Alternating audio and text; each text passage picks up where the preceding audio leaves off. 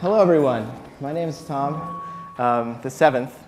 They call me Tom Seven, some of them, and um, I'm just some guy who did a funny project. I'm like the former pre- presenters and recovering academic. Uh, this is not an academic presentation, but I hope it is still illuminating and entertaining for you. Uh, so, the topic of the talk is, I'm gonna keep going back over here. Uh, Learn Fun and Play Fun, which is two pieces of software I wrote on a lark, uh, which automate the playing of old video games. And the goal here is definitely not to do this in a good way. I'm not trying to publish a paper. Uh, I'm not trying to um, succeed at playing video games. I don't really care about rescuing the princess, unless I do it with style. Yes? What? No. It, uh, old video games, I guess Call of Duty is pretty old now. But um, no, this is, this is specific to the Nintendo Entertainment System and video game systems that are very uh, small by modern standards. And I'll explain why, although the techniques conceivably could apply to uh, Call of Duty in the far future. Uh, so the design goals here, again, is not to be really good at the game, but to do so in an amusingly general, mathematically elegant, and stupid technique um, way. And I'm basically, you may have seen this, uh, this video. It was a somewhat popular video online, and there's a follow-up video. You can watch them, and I encourage you to. Uh, those have sort of better comedic timing, maybe, but, uh, and more of the same kind of stuff. Here, I know this is more or less a computer science audience, I hope, and so I'm going to actually talk a bit about how the algorithms work, but there is a section at the end of, um, of it succeeding and failing in humorous or perhaps impressive or ways that make you despair. So, uh, and I think it's a little bit of a short talk based on um, my feelings. So save your questions and do ask questions at the end, okay? I'll try to go slow. This is a really hard thing for me to go slow. I want to talk about SIGBOVIK. SIGBOVIK, so this work, again, is not like real academic work. I just did it um, for the fun of the hack. And if you like that kind of thing, SIGBOVIK, so this is originally published in SIGBOVIK, which is a conference we have every year at CMU. Um, and these are some of the titles of former of projects that I did in the past. Wikipedia, the free programming language that anyone can edit. It was a thing I really built. And you, this audience might actually like that one. Maybe I should have talked about that instead. Um, what words ought to exist is sort of the philosophical follow-on to the last talk that we just saw. You Keep Dying um, is, a, is a video game about dying uh, a lot. And uh, Who's the Biggest Douche in SkyMall is a, applying some important techniques in machine learning to figure out who is the douchiest of them all in that catalog. Uh, so do check that out, and you know, or write a paper for it or whatever. But just so you get a sense of where I'm coming from with this work. Okay, so the Nintendo Entertainment System. This is the best video game system. Um, certainly, if you're my age, you must know that. And if you're too, yeah, yeah. and if you're a Call of Duty player, just go back to the classics every once in a while and, and understand where gaming came from. What's awesome about the, the NES, given that it stole so many years of my life, to me is how tiny this computer is. So it's the Ricoh 2A03 processors, tiny processor. You could like look at the traces of the transistors with a magnifying glass. That's how small it is. 2,048 bytes of RAM, 2 kilobytes. This is 2,048 pixels. I probably should have made this black and white because there's actually red, green, and blue uh, color channels here. So this is three times the information content of a Nintendo on the screen, okay? Uh, and it runs at 1.79 megahertz. So like roughly speaking, my home computer, which is a beast, can fit 32 million Nintendos in RAM at once without compression, any fancy techniques, 32 million, and runs what, like 4,000 times faster than that on each of its 12 cores. So like, this is what originally inspired me to do, to do this project, just the thought that like, I was getting all that entertainment out of this joke of a computer by modern standards. What if I had a really big computer doing all of that stuff like in parallel or whatever. So uh, uh some more primers about the Nintendo Entertainment System. So there are eight inputs, which is so it's an 8-bit processor. Uh, it's no coincidence that there are eight inputs. And so that's like the, essentially the entire space over which we're going to search uh, for a single player, just those eight buttons. And yes, that was the Konami code, in case you're trying to figure it out. Um, and one of the really nice things about having 2048 bytes of RAM is programmers just wrote these things in assembly very straightforwardly. And they wrote programs where there's a global variable called like Mario's X coordinate on the screen. And that's literally where it is. It's at hex address 86. Um, and other stuff like, well, the, the first level consists of a series of screens, each stored in ROM. So there's a lot of ROM. There's many, many kilobytes of ROM. Maybe Mario's like 64 kilobytes of ROM. But the RAM is small. And so it would tell you which sort of page in this level are you on, and that's stored at 6D. And uh, there's other stuff like the level you're on, which is you know, world 1-1, is world 1, level 1. So those are stored in RAM somewhere, the number of coins, the number of lives. Not all of that stuff's on screen. Some of it's on screen. Sometimes there's the decimal representation for the screen display. Sometimes there's a hex, uh, hex thing in, in memory. But the important lesson is these games were not written in a fancy way. Okay? There's just a variable that says how many coins you have. So the thought is, like, what does it mean to win a game? And I want to do this in general for all games. And the simplest possible thing I could think of would be, well, these bytes should be going up. Because actually all of the things I talked about there right? Like the level, it's good if that goes up. The world, it's good. You know, coins want more coins, right, all the time, more lives. I even want my screen to get higher, and I want my x coordinate to get higher, right? So like, if the RAM is going up, I must be winning the game. Which, now, you laugh, but this is going, this is going to actually work, right? And that's the, that's the joke. And it's, a little bit more complicated. Actually, it's a lot more complicated, but still, I think, pretty elegant. Um, not bytes, but sequences of bytes in lexicographic orderings. So what do I mean by that? Well, let's just think about the world level pair. I go from 1, 1 to 1, 2, so that byte went up. Then 1, 3, that byte went up. 1, 4. But now actually 4 went down to 1. But there's another byte uh, that went up, which is my world byte. So as long as I know, if I'm thinking about the world and the level together, it's OK that my level went back down to 1 because my world went up. And that's the familiar, I hope, notion of a lexicographic ordering. And it generalizes so many concepts in video games that are very simple, like Super Mario Brothers. Like the pair of your world and level is a really good predictor, as we just talked about. The world, the level, then the screen number, and then your x coordinate within a screen is also a really good uh, metric for how far you've gone. Or your lives and your coins, because when you get 100 coins, you get an extra life. Or like the first, second, and third and fourth bytes of a multi-byte thing like your score, no matter whether it's in uh, big or little or some kind of weird uh, interleaved in, uh, endianness, something like that. So it's nice, right? That you can spell out a lot of metrics on a, on a game's progress using lexicographic orderings on locations in memory. So the idea is, uh, what if I could figure out by watching a person play the game, it's going to be me, uh, how, what does it mean to win that game? And I can do that by modeling it as these lexicographic sequences. And then I can use that in order to play the game automatically. Okay, so that's what I'm going to talk about for the remainder of the talk. Um, learn fun is that first part. That's the thing that's going to learn what lexicographic orderings are mean uh, are for this game to be winning. That was a really awkward sentence that I apologize for. And then the other half is going to use those to play the game. So basically, this is me playing Super Mario Brothers. I record some sequence of me playing for like a minute, and I produce those, uh, those orderings. They're not actually those. I don't know what they mean, right?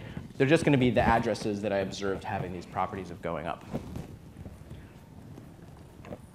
And this is why we're trying to close the shades. I designed for a darker room. There's some faint red text here, which is the, uh, which is the weights. So there's actually not just the orderings, but they're weighted just for full disclosure. And then I'm going to use those objective functions to search for a sequence of inputs that wins the game. And to be clear, this search happens offline. Conceivably, if I had fast enough computer, I could do this and you could just watch it happen. But this is kind of an overnight affair. It's not, a, it's not absurdly slow. And I, am talking about like if I had 10 computers like mine, then I could run this real time. And so playfun takes those weighted uh, objective functions and produces uh, inputs that win the game, or jump in the pit. You know, sometimes it does that. And that was something that it really did. So what do I mean by search? Um, the title of this paper in SIGBOVIK was The First Level of Super Mario Brothers is Easy with Lexicographic Orderings, which we talked about, and time travel. And this is the time travel part. So, and this is, this, this is the reason why this approach is least useful, okay? It specifically requires that I'm able to emulate the Nintendo in order to know what would happen if I did a specific thing. And the Nintendo, because it's a simple computer, I can just simulate it on my computer. And I can save a state, and I can try out a series of inputs and see what would happen. All right? And that's not true of most uh, problems that we want to solve, sadly. Some problems. So for example, I have some state. Here I am at the beginning of world 1.1. And here's the state where I do nothing, or the input where I do nothing. And basically, I just kind of stand there, and the Goomba gets closer. And that's the state where I press the A button, and I start jumping up, and I get the coin. Um, and I can take each of those, and I can explore them further Uh, this is like assuming there's only two possible inputs. There's actually a lot of inputs that I could do at any given step. So I have this whole tree, right? So I could search that tree, and I could say, well, here I've gotten down to some state. How good is that state according to those lexicographic orderings compared to the first one or compared to those other ones to decide whether I'm making progress, right? Sadly, um, you can't use brute force. You can't just search this space, right? So one second of gameplay is the frames per second to the two to the number of inputs, because I could press A and right at the same time, right? So the power set of those buttons, which is 6 to the 256, which is that number for one second. And it's not even like I just have to do that for every second. It's actually the product of those. So it's a ridiculous number, right? There's no way you could brute force this thing. Um, so you have to be kind of smart about it. And in the rest of the talk, I just want to tell you about how LearnFun works, how PlayFun works, and then I'm going to show you videos of it, um, of it playing. And the videos, by the way, if you have seen this online, I'm going to show you some new stuff. So uh, hopefully it won't be all repetition. And it's taking 10 minutes. Yeah, this will be good. I'm worried about going too fast. So let's talk about LearnFun. LearnFun is the thing that produces those lexicographic orderings. So the input is a series of rams, a time series of rams. And I'm going to say rams. I know it sounds really wrong, but it, it is rams because it's like the ram at frame 1, the ram at frame 2, the ram at frame 3. Uh, and those are pictures of like actual Super Mario Brothers rams in black and white this time. And the output is the, lex the lexicographic orderings. I take about 4,000 frames in, and I output about 250 orderings so that you get a sense of what that's like. And uh, this problem can be solved exactly. This is actually a nice mathematical problem. In fact, it, it's a nice exercise if you want to figure out how to do this, but I'm just going to belabor it. Uh, so basically what you do is you non-deterministically, non-deterministically select an ordering um, L, the script L, that's obeyed by those rams, which, by which I mean that like each ram is less than or equal to the next ram according to this ordering. And additionally, there'll be some properties that L will have. It'll be quote unquote tight and maximal. I just made up those words. Uh, so like if you're studying lexicographic orderings and you don't know what I'm talking about, that's why. Um, this, is what, this is what I take those to mean. A tight one means that every location in L, so remember, L is like the world, the level, the x coordinate, and your coins, or something like that. It means that every location that's in L was used at some point in the, in the process of those rams to discriminate some pair of rams. Because, it, for example, if I have a byte in my input that's always zero, like it's just, you know, whatever, byte 19 is always zero, then I could say, yeah, 19 is part of my ordering, but I don't have any evidence that 19 is interesting. And it will be obeyed by all of those rams because it'll always be zero, so it'll always be less than or equal at that byte. So I ensure that um, somewhere I at least saw the lives go up, and that was the only thing that went up in order to make me think that these uh, memories are less than or equal to. So that's important, otherwise you get a bunch of bytes that are not useful in your ordering. And then maximal maybe is not important, but I have this constraint anyway, which is that you can't add anything else on the end in the least significant position um, and still be valid and tight. So like you have to have exploited all of the memory addresses that you know about that are obeyed in this ordering in order to be done. Right, sort of makes sense? And uh, the algorithm is, this is like the one slide of the algorithm. Um, basically, you're just going to take a tight and valid L, some any one, and you're going to non-deterministically extend it with some new location in its lowest, uh, least significant position um, until you can't do that anymore, which therefore means that it's maximal, right, by definition that we just talked about. And uh, what we'll do is we'll start with the empty sequence because that is you know, like basically everything is going to be equal or less than or equal to. And um, it is valid because there's, of course, everything is less than or equal with the, with the empty ordering. And it's tight because a, quantif a for all quantifier over the empty list is uh, trivially satisfied. So a location x extends L if this is establishing tightness. And if you're very good at reading faint red text, you can see it says tight there and valid there. Spoiler alert. Um, for, there must exist some pair of rams, ri, and the next one, ri plus 1, where basically it's equal on the prefix, but this particular um, byte makes it strictly less than. So somewhere this had to be the deciding factor. Um, and it's only the deciding factor if that's equal on the prefix, not less than. And then for all pairs, uh, if it's equal on the prefix, then it has to be less than or equal to. And we're only talking again about equality here because that's the nature of lexicographic orderings. When the world has gone up, I don't care about anything that's less important than that in the ordering, for example, the level. Level can do anything like go down if the world went up. Okay? So that's a nice um, that's a nice algorithm, and you can code it up, and you could get your undergrads to do it, or uh, especially if you have a nice functional programming language, it's like it's a breeze, it's a delight to write. I use C++ like a chump because, uh, first of all, I'm a chump, but second of all, I was working in a, this emulator called FCE Ultra, which is written in C, and so like I didn't, I could have tried to bind ML bindings or something for it, but it's not that bad. Now, some things to know about the generation of these lexicographic orderings.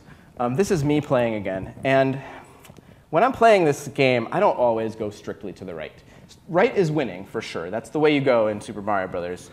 Every kid knows. But like here, I'm struggling to get up to this, uh, to this flower, and I go back to the left. And this would, the algorithm that I just showed you would think, well, most of the time he goes up, but I just found a place where this goes down.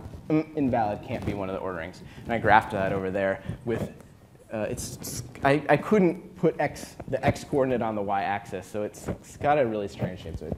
You get it. You go left. It's not um, strictly valid. So what I do is I actually chunk up the memory. Um, I have a couple different approaches. One of them is just try the whole memory as the input. But I can also look at, for example, just the first tenth of the input and look at orderings that are obeyed there. Or I could look at every 10th frame so that things that sort of gradually go up over time but are momentarily violated are likely to be caught by one of these thingies, right? And uh, oh yeah, that was a reminder to myself to fix that because that's not true. But I was some way of producing the weights, okay? So I also have to decide because, for example, like let's say I found an ordering that was obeyed for these white stripes here, but in between there was like a real lot of going left sorts of stuff. I would want that to count against that uh, ordering in a soft way. So there's some approach for weighting them that this slide is totally misleading about, so I'm skip it. And this is a graph of these are my inputs over time of playing Super Mario Brothers. And each one of these colors is a different uh, lexicographic ordering that was produced by what I just talked about. And they go up, as you'd expect. But there are ones that are momentarily violated. So like this blue one, this teal one here goes and then sort of vibrates and um, then it's good again. And so like it probably was ignoring this section of the game when it was being trained. But that's good because you know some points I'm swimming, and swimming might look a little different than running, and I still want to learn about swimming. Okay? So now we're going to talk about searching, then we're going to watch a movie. Okay, good. Searching for a sequence of moves that maximize the objective function. So actually, what I just talked about is learn fun, and that's more or less the whole story. It's a simple program. And that program, uh, once it's done, I can throw out everything having to do with the game. Like it, I'll never again look at um, you know, the pictures or anything like the sound or anything on the screen. I'm really just looking at RAMs and in fact only at the addresses that appear in these lexicographic orderings in order to do the search. So this is the hard part of the program, and this is the part that I spent most of my time on, maybe unwisely. So the space is huge, as we talked about. There's like ridiculous expon exponents in there um, and 60 frames a second, right? Uh, and it's mostly tree shaped. So unlike you know, lots of game search, like chess, for example, you can permute moves and get back to the same state.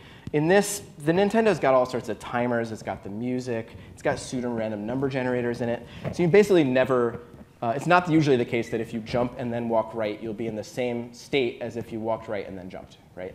So it's basically a tree. Um, Simulating steps is actually fairly slow. It takes about 500 microseconds. I know that doesn't sound that slow, but um, it's kind of slow. So you have to be careful to not simulate a step unless you're going to use that output.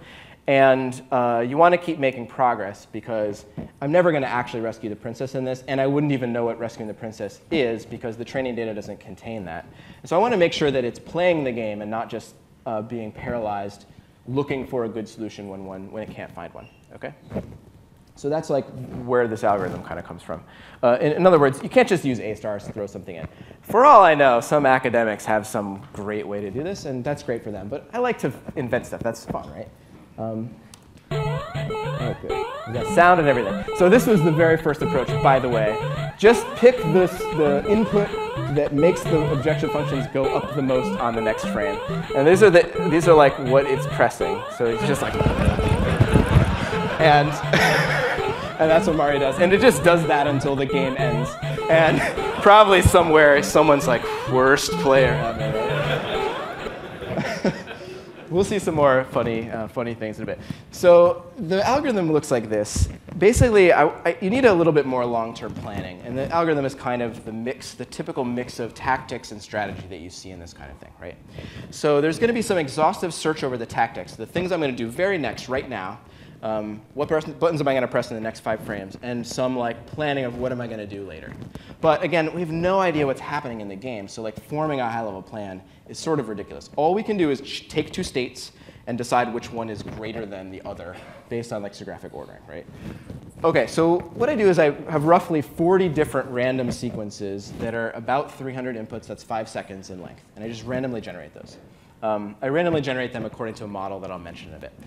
Then I'm going to do an exhaustive search over some short sequences and use those futures to decide which of those, um, which of those next states look good to me. Okay, so you know, in chess, for example, if you want to evaluate a chess state, you can look at the, the pieces on the board. I don't get to do that. I don't understand the board. But you can at least simulate chess moves, like random play or something, and see what happens. And I can do that. So I'm just simulating random play to see how good a state is. Like, am I about to fall in a pit? Um, and this has the uh, pros that it allows me to uh, evaluate those, those states. It allows me to maintain some kind of coherence of the plan over time because I'm looking like five seconds in ahead of time. And it allows me to reinforce and vary ideas that, are, that showed to be good. Okay? And this one I'm going to try to explain. I think this is a new algorithm. I don't know. Uh, basically, so here's the 40 futures. Imagine that this goes to f sub 40. And it's, it, the future is just a series of inputs. Okay? Um, and you're currently looking at some state, for example, the beginning of Super Mario Brothers. And what we're going to do is we're going to chop off the first five inputs. It's literally five. Of course, you could change that number if you wanted, uh, of each of those sequences. And those are going to be called the nexts. So these are the things that I might do next. I'm going to just exhaustively search over those. Uh, and I'm going to decide which one's the best, and then I'm going to do that. And the way I do that is, oh, I also have to, let's save the tails, everything that comes after those next, and we'll call those the tails, because we're going to use those in a bit. Um, so the goal is to pick the best, the best next and commit to it. And what I'll do is I'll take that, any one of them, I'm going to do this for all of them, and I'm going to run it. So now I'm in a new state. Okay, this is the result state. Right? Makes sense. In fact, that's really all I can do is run a state. Um, I just shrank it. And then for that frame, I'm going to take all of the tails for all of the futures, and I'm going to try all of those out given this state. Okay? And I get what are called the ends, all those different ends. Now I can do things like say, is this state greater than this state? Or is this state greater than that state? Okay. Um, sorry, I have to keep walking back and forth. There's this thing on the screen, but I like the dynamic uh, walking around. Um, and then I'm going to choose the best result, the best next, uh, according to whatever of those ends is the max. So like the, the best state that I can get to given that. And it's not like it, so it's not like an average or anything like that. And that's a, that was unintuitive to me until I had a, a, realization. This is kind of like, okay, so for example, let's say I die in all of the states except for one. So like I'm about to jump on some lava, but in one of them I like just barely eke it out. You might think that this is a dangerous state, and a human would think of that as pretty dangerous. Like, don't go near the lava because random play tends to kill you. And I initially started that way, but what I actually changed it, what I realized is, it's kind of like Minimax, right, where you have an opponent, except you don't have an opponent because you can make the Goombas do anything you want by just exactly pressing the right way. So as long as I have one good move, it doesn't matter if I'm going to die in all of the rest of them. Because nothing can ever force me to do something, uh, to make a bad move in the future if I know a good move. So it's really just max over those, over those results. And um, an important fact is that every next is evaluated with its tail from that first thing when we split them up. Um, so I at least will get to see again uh, any given thing that I've hallucinated doing in the future, I will have the opportunity to keep seeing it over and over and over again. So I'll never have to do worse than that. Okay? I don't know if that makes sense. Whatever.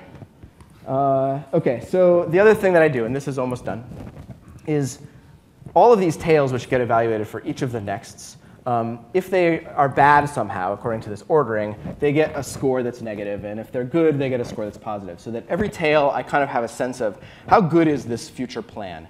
Like, is this a plan where I tend to die on no matter what I do now, I'm going to die later?